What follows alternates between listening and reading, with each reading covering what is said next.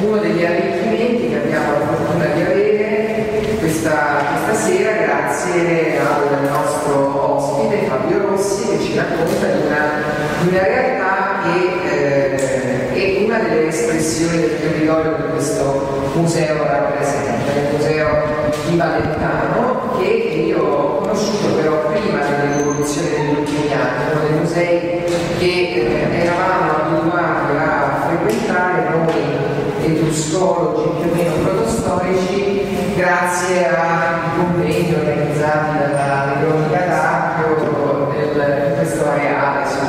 su, su, sulla base degli scavi che l'Università di Milano non solo hanno prodotto in questa zona per tanto tempo. Zone che sono tra le più belle del nostro Alto Lazio, tra le più interessanti, tra quelle che hanno maggiore profondità cronologica collega Patrizia Petitti che soltanto da pochi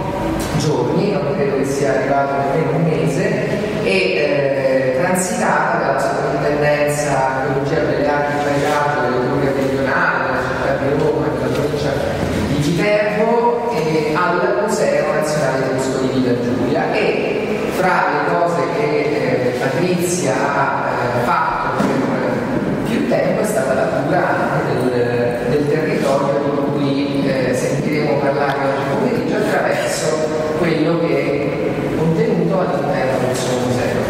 Un museo che stavamo raccontando che ha tante peculiarità e eh, è bello oggi eh, pomeriggio poterle offrire direttamente alla vostra esperienza. Io purtroppo non sarò tra quelli che potranno sperimentarle perché dovrò andare via quasi subito dopo questa breve introduzione, però eh, prometto di venirvi a trovare, magari di cambiare se lo volete questo, questo invito, raccontandovi la Giulia da voi. Lo scopo è di pari con realtà che qualcuno potrebbe considerare più piccole o come dicono spesso minore rispetto alla nostra, ma che hanno la stessa identica rilevanza che abbiamo noi in qualità di presidi territoriali per la cultura, anzi i loro musei, i musei dedicati a raccontare le loro storie di persone qui a Villa Giulia sono forse un presidio territoriale anche importante di quello di Villa Giulia, perché sono più vicini alle persone, più vicini al territorio. E eh, il collega, non so se sa, però questo invito ha un rispettivo che ci dovrete dare. Adesso io ho due cartelline che tu dovrai condividere anche con l'amministratore che questa sera non ha potuto essere con noi, perché noi vorremmo che queste storie di persone, queste storie di musei potessero contribuire ad essere raccolte alla fine in un volume di cui sappiamo eh, potremo essere editori eh, e quindi qua ci sono un fascicolo della rivista Forma Urbis e le norme redazionali con la scadenza della consegna, ma insomma c'è, c'è tempo. Allora, ringraziando nuovamente e scusandomi per il fatto di dovervi lasciare molto presto, spero che possiate godere dell'esperienza che oggi ci viene raccontata, toccare,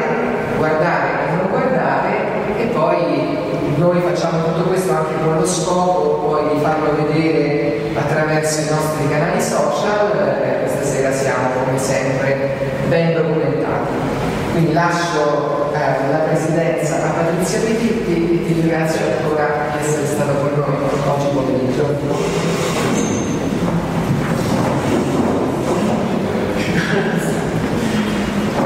Ringrazio il direttore Enzo per questa interessante iniziativa, l'unica iniziativa che solo le forze del Museo Autonomo probabilmente non possono eh, garantire soltanto l'ampiezza dell'offerta nazionale rispetto a un immagino dell'impegno del backstage, si può dire, nella presentazione e nella cura di eh, queste conferenze. Eh, mi è stato detto solo questa mattina che il rappresentante a cui però Cartellena non poteva essere politico ovviamente, non poteva essere presente, noi in questo momento a Valentano siamo un commissario straordinario, tanto per ridere, perché Valentano devo dire non è il solito, ahimè, a questo tipo di gestione. Eh, il commissario, soprattutto ovviamente, grazie al eh, direttore per questa opportunità, essendo il viceprefetto giorni dalla... No, mi raccomando, io non sto in serio, sì, però è meglio usarlo, grazie anche per i nostri video. Cominciamo qua. Si sente adesso? Meglio. Bene, e dicevo, essendo il viceprefetto in questi giorni di avvicendamento dei ruoli, eh, chiaramente garantire la sua presenza. Um, il tema scelto eh, stasera quello che un po' ci connota in particolare come attività museale a Valentano. Eh, ci sarà una prima parte di eh, presentazione proprio del museo per chi lo conosce, sperando che sia anche un'opportunità, un invito eh, manifesto, devo dire, a venire a vederlo eh, appunto a Valentano. Eh, siamo in realtà in un territorio abbastanza sconosciuto, difficile anche arrivo, soprattutto rispetto a Roma. Io ho voluto mettere una cartina, noi siamo un po' le propagini della provincia di sente siamo, eh, dicevo, dicevo, alle propagini della alla provincia di Viterbo al confine con la Toscana,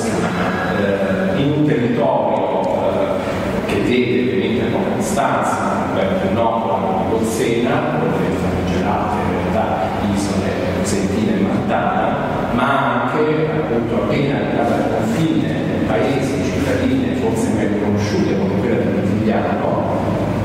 Bucci ovviamente non poteva mancare trovandoci all'interno dell'osservazione di Cusco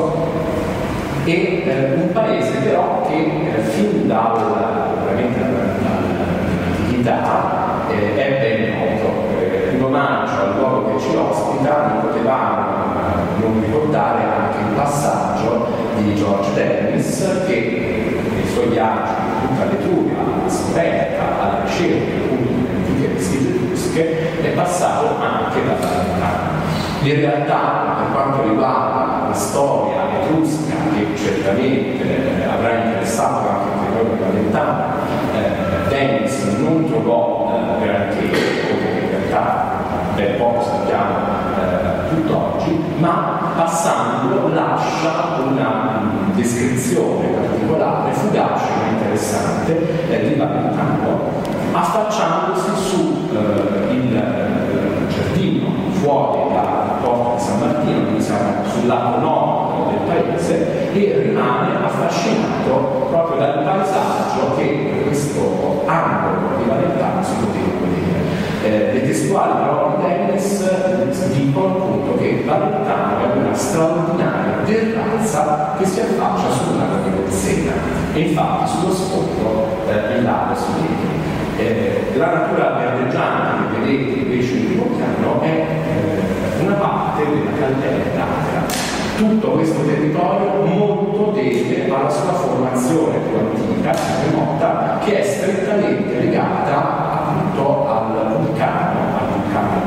della Bolsena, il territorio circostante, che fortemente ha caratterizzato fin dall'antichità eh, non soltanto l'ambiente ma anche eh, le antiche città che poi si sono susseguite. Il museo. Il museo è in realtà un'esperienza relativamente recente, eh, parte del 1985, io lo davo appena effettivamente, per, per, me è una, eh, un tempo e eh, il Consiglio Comunale dell'epoca decise, deliberò di istituire quello che l'idea iniziale doveva essere il Museo della Rocca. Perché il Museo della Rocca? Perché nel punto più alto di Valentano eh, si trovava, si trova propriamente, eh, la rocca farnese, ma queste erano le condizioni eh, in cui appunto questa parte di Valentano si trovava. La rocca era stata eh, centro dell'attività, della vita eh, più importante del, del paese, tutto il periodo rinascimentale, dopo le ultime esperienze, attorno agli anni 50, agli anni 60 del secolo scorso come scuola pubblica, fu lasciato andare Quindi quello che si trovava nel punto più particolare del, del Colle della Montana sono sostanzialmente delle rovine. Eh, straordinarie rovine, ma questo era il paesaggio. Eh, testimoni del tempo, e qui eh, appunto devo solo assolutamente ricordare eh, un po' l'anima di Valentano, che primo ha voluto, e, certamente il museo, che Giovanni Luzzi, che è anche un po' la storia, la memoria storica ecco, di queste prime fasi del, museo. E queste stesse immagini mi chiedo di ecco, osservare con attenzione perché le ripasseranno sotto a un altro aspetto a.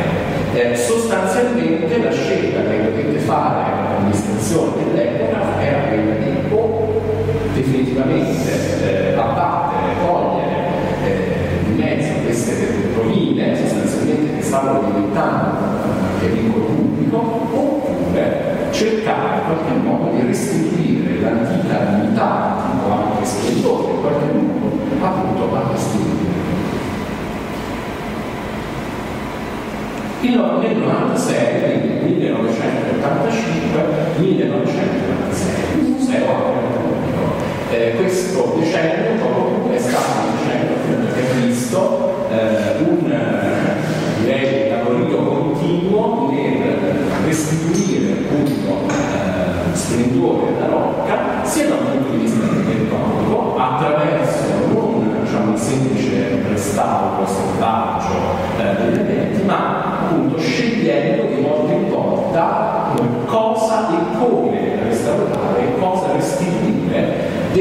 secoli che in realtà hanno contraddistinto Mm, vi dicevo, inizialmente eh, si istituì appunto il museo della Rocca, cioè si immaginava che eh, la Rocca Farnese di Valentano dovesse in qualche modo ospitare un museo che parlasse appunto eh, di se stessa, della storia che essa rappresentava. E qui un altro nome che non si può, altri nomi in realtà che non posso non, non ricordare, sono appunto Patrizia Petit di qui accanto a me, perché l'intuizione eh, fortemente appunto, voluta, sostenuta, eh, forse anche appunto qualche idea eh, parte per esempio dei sovrintendenti che si sono avvicendati, dei responsabili, che ha visto tra l'altro il sostegno, ma non soltanto economico, ma anche del porto intellettuale da parte della Regione Lazio, Tenete presente che sostanzialmente tutti i vari grossi progetti di eh, ambito museale dall'inizio adesso sono praticamente stati tutti finanziati con fondi pubblici, ma appunto fondi europei e fondi regionali per addetti ai lavori, i vari DOCUP, Apicum, eccetera. E in questo caso certamente ricordo Laura Martini, adesso possiamo ricordare con estrema tranquillità, quanto in quiescenza, quindi possiamo ringraziarla non soltanto per l'apporto che ha dato eh, appunto negli anni, ma anche per lo scambio per me recente, perché noi ci siamo conosciuti rispetto appunto alle vicende del museo. Questo che vedete è eh, il cortile, il grande, il grande, cortile di accesso che appunto accoglie eh, chi abbraccia direi in qualche modo il visitatore che era la realtà del museo. Eh, la torre che prima vedevate quasi completamente distrutta, la grande torre ottagonale che è anche da un punto di vista architettonico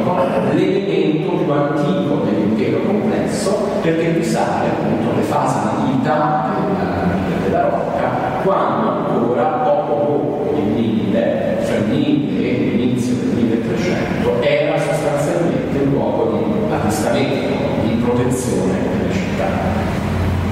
Eh, il museo pubblico anche recuperando quelle che sono state poche, quelle che sono le tracce appunto dell'antico fasto legato alla residenza, ai secoli in cui la struttura fu residenza della famiglia farnese. Quelli che vi mostro, la sequenza, sono soltanto due dei in realtà pochi affreschi eh, conservati e risalenti appunto eh, a quel periodo.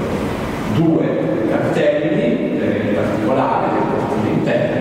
chi verrà a visitare il museo Valentano noterà che non tutti i cartelli del cortile eh, appunto sono mh, figurati, quelli che lo sono sono gli originali recuperati. Eh, Segnalo in particolare questi due perché risalgono eh, a un periodo, noi siamo nel 1400, quando eh, la rocca viene riconfigurata eh, per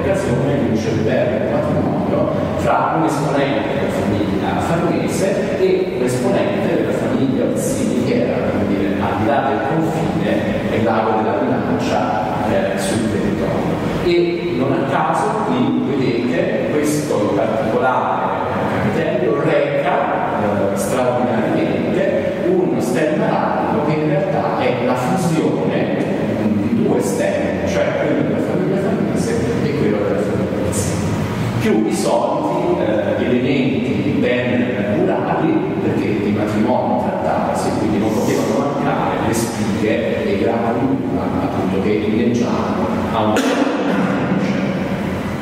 eh, nella storia del museo, siamo ormai nel 1700, di nuovo eh, l'aspetto della rocca cambia. Siamo ormai dopo la distruzione del Castro, sono terminate da poco dispute anche con la Camera Apostolica, parentesi, siamo in pieno territorio legato a questo pontificio, quindi eh, i farnesi arrivano alla lontano proprio grazie a, eh, cardinale Bono che vi concedete a Sant'Antonio. E qui siamo appunto ormai all'epigone della storia della famiglia e siamo in pieno Settecento quando dicevo l'intero complesso viene destinato a conventi di clausura e eh, le suore appunto ridisegnarono, riconfigurarono ancora una volta l'aspetto della rocca. Di questo periodo in realtà sono vari gli elementi che oggi rimangono, ma certamente la scala santa è un elemento, devo dire, più bello, più significativo che tuttora è possibile fruire. Sappiamo, e abbiamo i documenti di archivio, eh, che appunto la scala, la scalera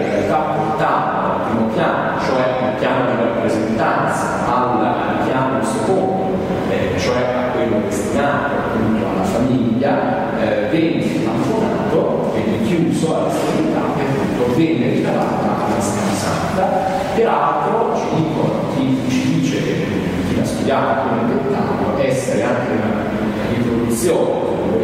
anche piuttosto fedele rispetto a quello che in passato era il prototipo di Tommaso, cioè la scala santa che oggi troviamo a San Giovanni la Tra l'altro eh, il mediatore primo di questa scala santa, qui in questo convento di clausura, fu l'allora padre spirituale delle monache eh, chiuse all'interno che era appunto San Paolo cioè non a caso faccio notare che tutt'oggi eh, San Giovanni Laterano ottenuto appunto da Paolo Massimisti la congregazione che da lui ha avuto eh, origine. Sappiamo anche, con, con abbastanza, può essere abbastanza attendibile l'informazione, che fra i vari interventi scuole ci fu anche quello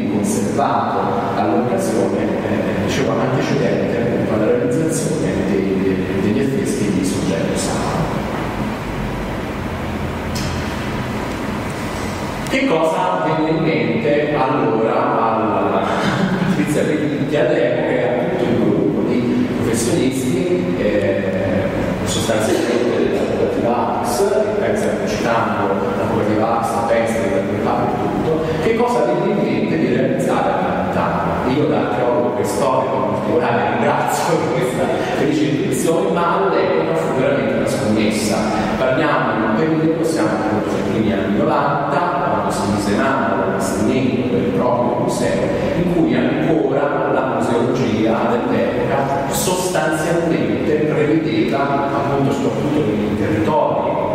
decentrati, ecco, sicuramente da Roma, eh, esperienze museali legate a quelle che in realtà poi eh, rispondevano meglio alla definizione di antiquario, cioè piccole strutture, piccole grandi strutture, ma che erano destinate prevalentemente a raccontare eh, la storia locale, laddove per locale si intendeva sostanzialmente. Ovviamente eh, antico, quelli che oggi sono i moderni eh, confini amministrativi non erano presenti. Che cosa si otteneva sostanzialmente? In realtà tutta una serie di piccoli musei in qualche modo replica l'uno dell'altro, che raccontavano appunto eh, le vicende, in questo caso archeologiche, dalla preistoria fino all'età contemporanea, ma ecco, senza distinguersi l'intuizione poi l'idea uguale, fortemente difesa per quella di realizzare un museo monografico, diremmo oggi, tematico, dedicato a quello che all'epoca era anche un periodo storico locale eh, ancora poco conosciuto in qualche modo perché proprio in quegli anni, a quegli anni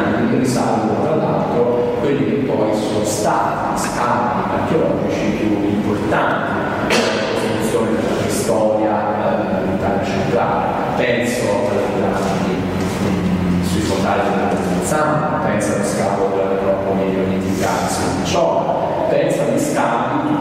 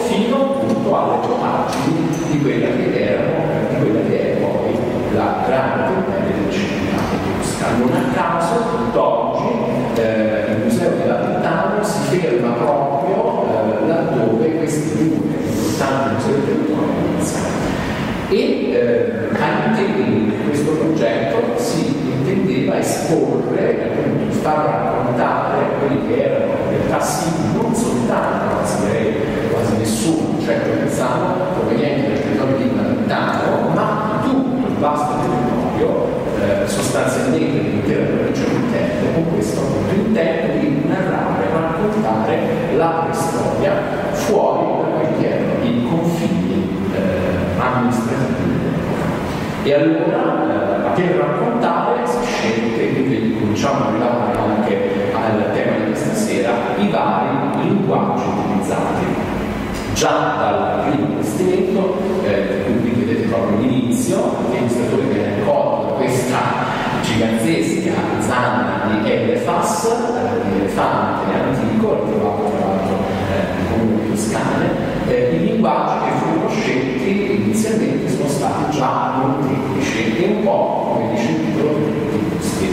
dall'informazione più immediata, essenziale della scalia, eh, accompagnata però da un'informazione più approfondita, affidata ai pannelli, pannelli che però non si limitano, non si limitano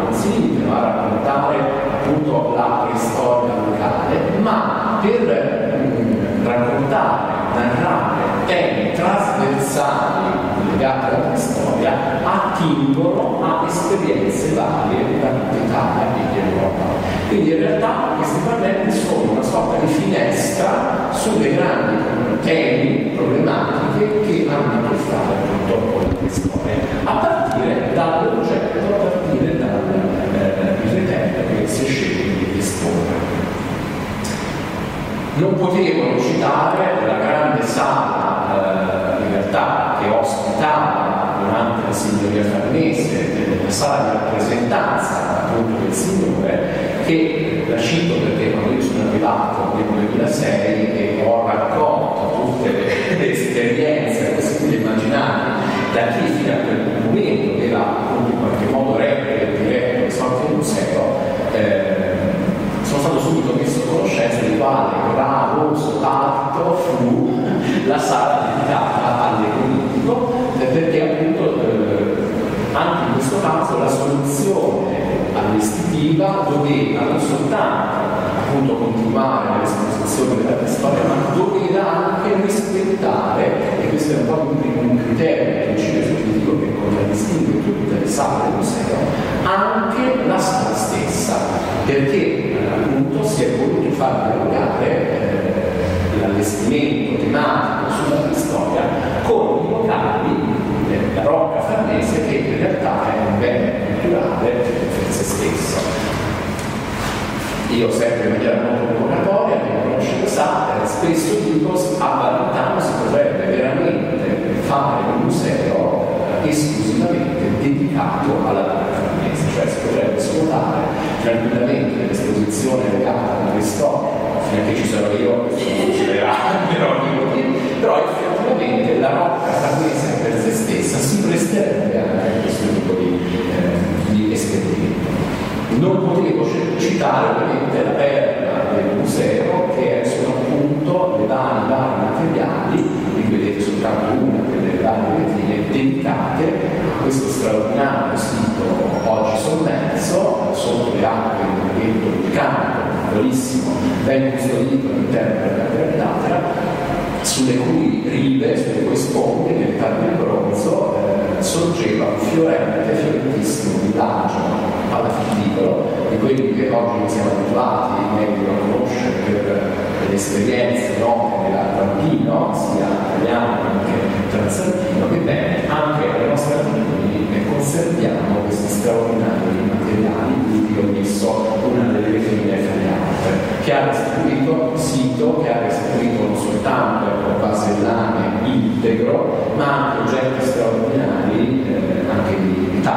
spade, eh, oggetti anche di ornamento, come esprimioni, tutti esposti alla lontana.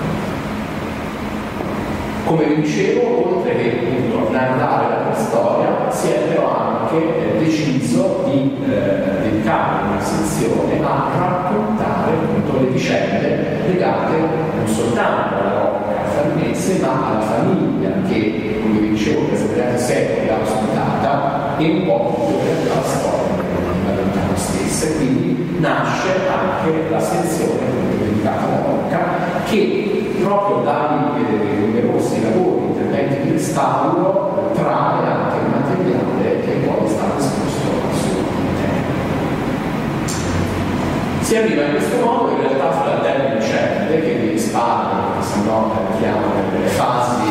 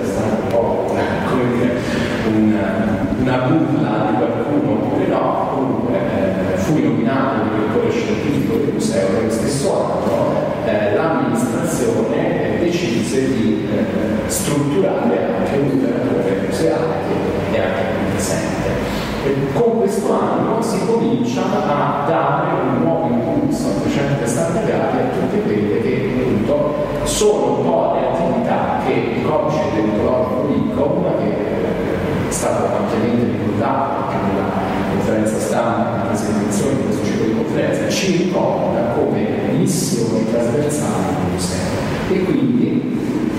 sono arrivate eh, alcune novità anche particolari nelle esposizioni, questo chiaramente nel corso degli anni, ma non importa eh, questo quanto appunto il risultato, come questo particolare oggetto che è la cosiddetta tavoletta climatica, eh, è un, un oggettino in terracotta eh, 4 cm, come vedete dalla, dalla diapositiva, ma eh, ecco, segnala il fatto che è l'unico elemento di questo genere noto per, in tutta la regione Lazio, un unicum. In realtà è uno fra i pochi elementi noti in Italia centrale, bisogna arrivare all'Italia settentrionale per avere un corpus un po' più ampio di questi oggetti. Ebbene, questo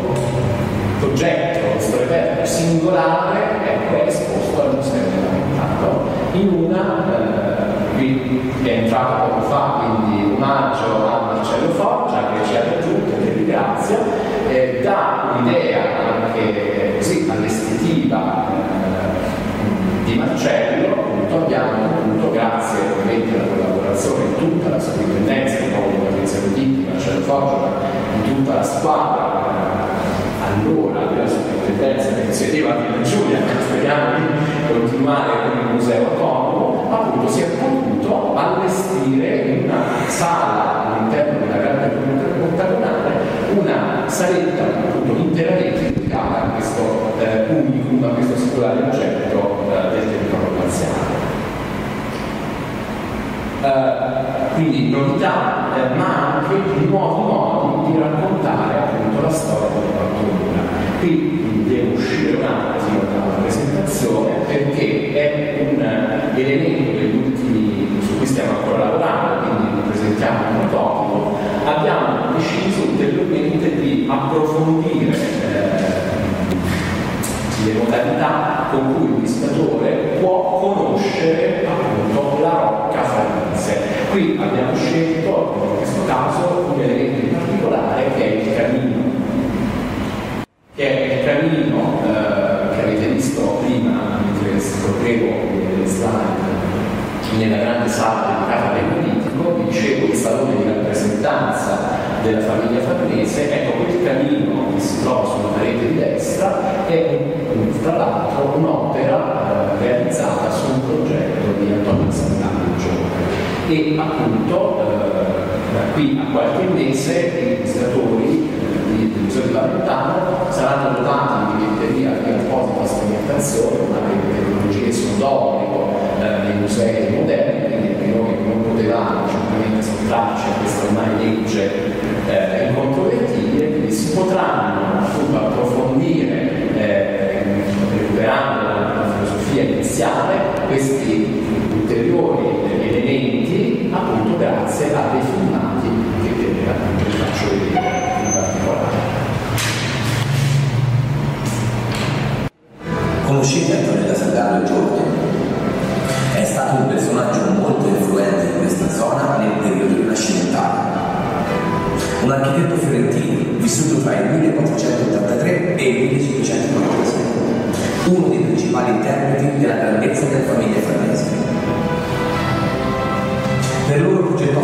Fortificazioni, rocche e palazzi, tra i quali il palazzo farnese di Gradoli e la chiesa di Sant'Egidio a Celle. Con molta probabilità è stata sua l'idea di ingrandire la sala locale della Rocca di Valentano. Infatti sembra che ne abbia innalzato il soffitto e l'abbia dotata di un cammino monumentale travertino, di cui sono stati ritrovati i disegni del progetto. Pensate che fino al 1600 il solo modo per riscaldare case e palazzi era proprio l'utilizzo del camino, che però comportava un grande consumo di legna. È per questo che spesso i grandi camini dei saloni non venivano utilizzati. Nella vita quotidiana si usavano molto di più gli scaldini a carbonella, che ognuno teneva con sé.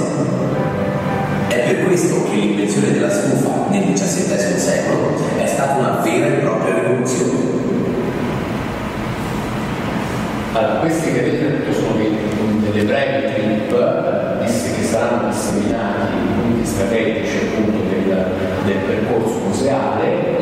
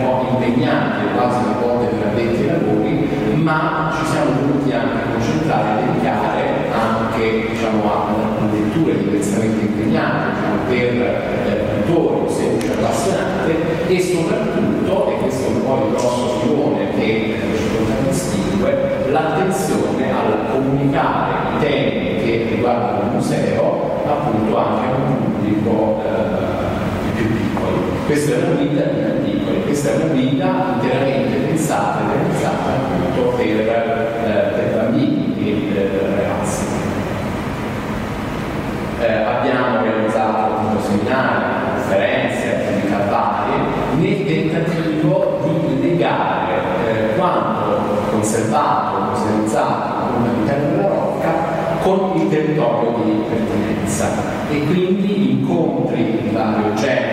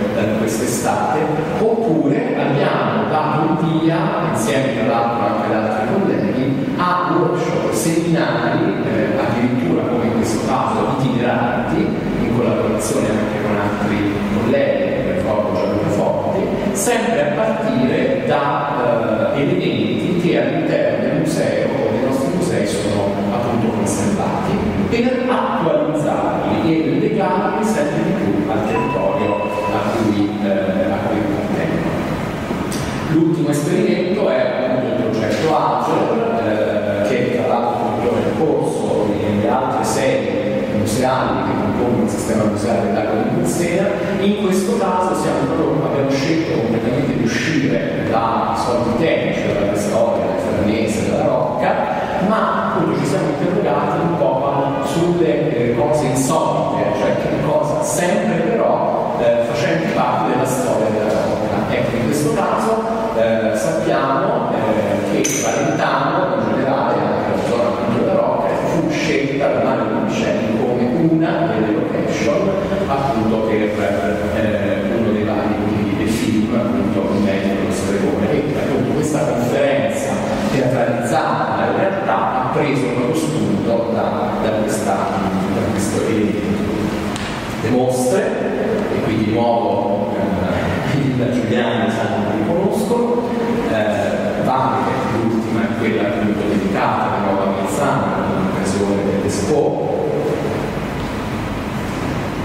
e poi è un po' quella che noi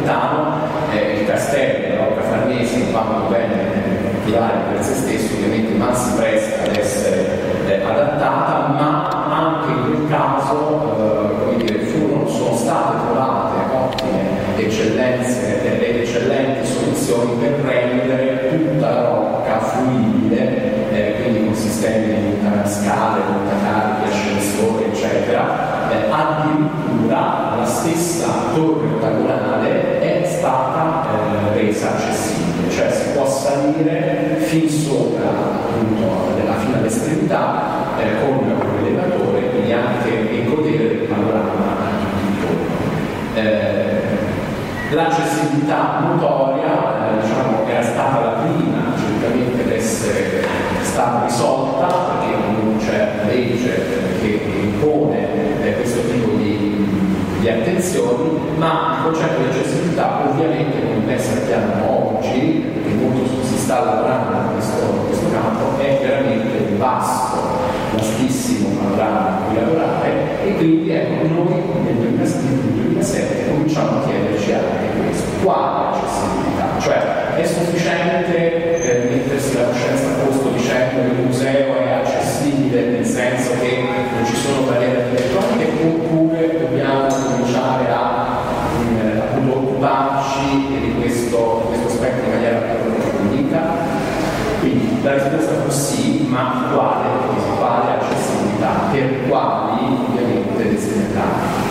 L'esperimento preso in via con in realtà una mostra che fu vietato da toccare in cui il tema dell'accessibilità viene affrontato non soltanto rispetto a specifiche disabilità, in caso specifico eh, uditive piuttosto che visive, ma l'accessibilità è intesa nell'accezione più, eh, più cioè come effettivamente permettere delle condizioni. Il pubblico tutto di comprendere o di entrare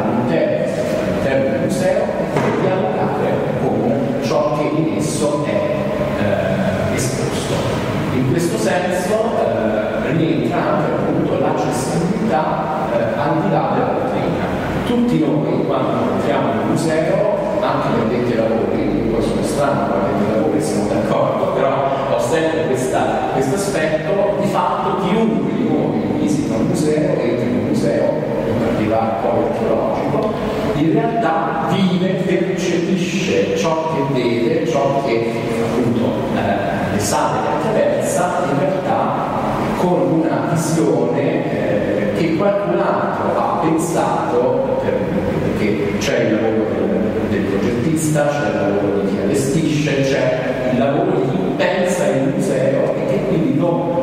e che fa comunicare in realtà dal suo punto di vista anche l'amministratore. E poi c'è l'eterno scontro della dottrina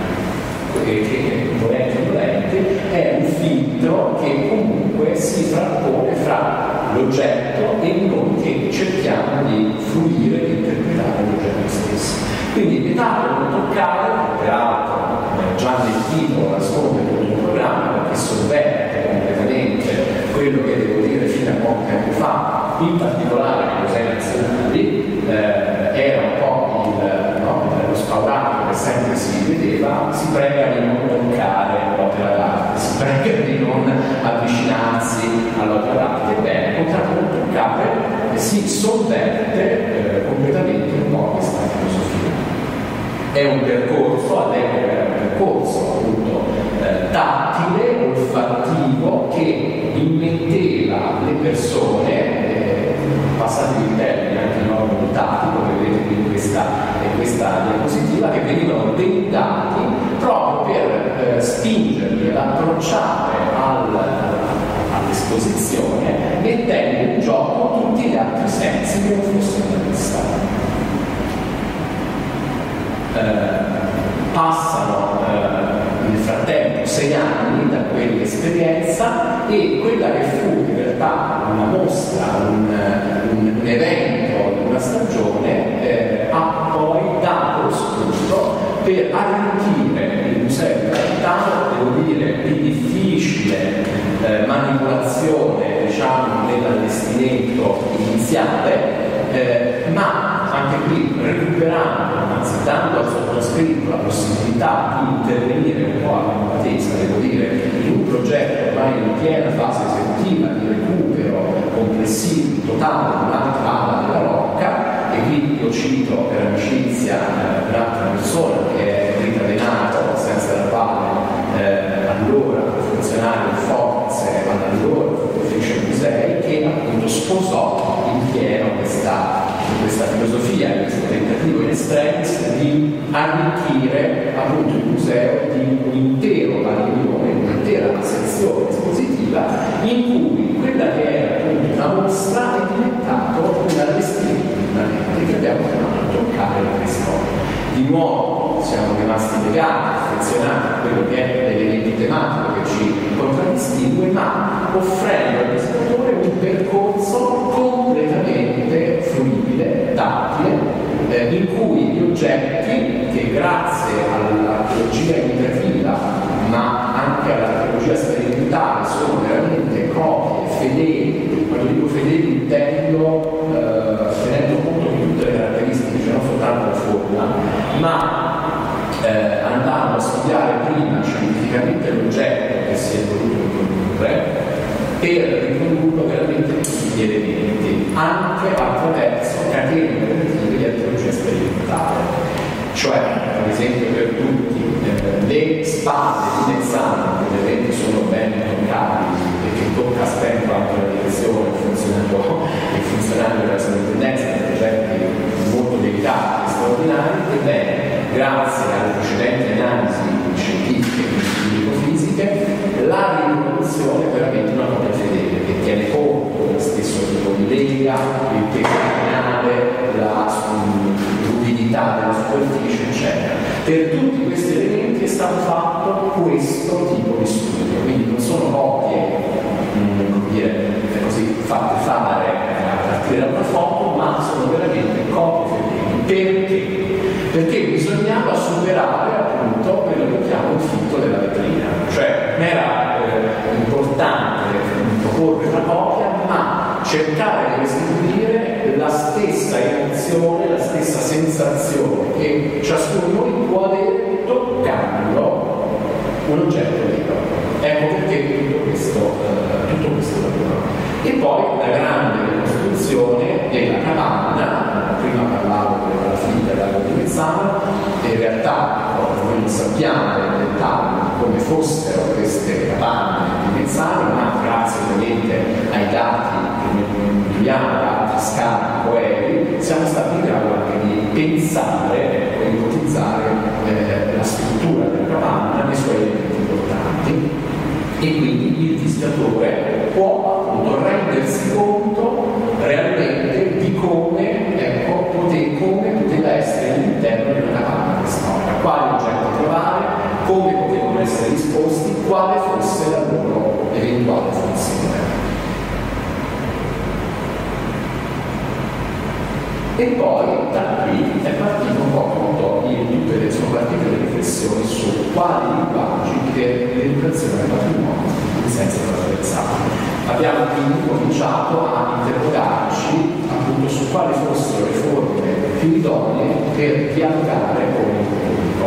Quando dico pubblico io inglobo un po' tutti, cioè la riflessione è stata fatta in modo trasversale, bambini, pubblico scolare, eh, famiglie, adulti, eh, perché il tema rimane lo stesso, ma deve cambiare ovviamente l'approccio.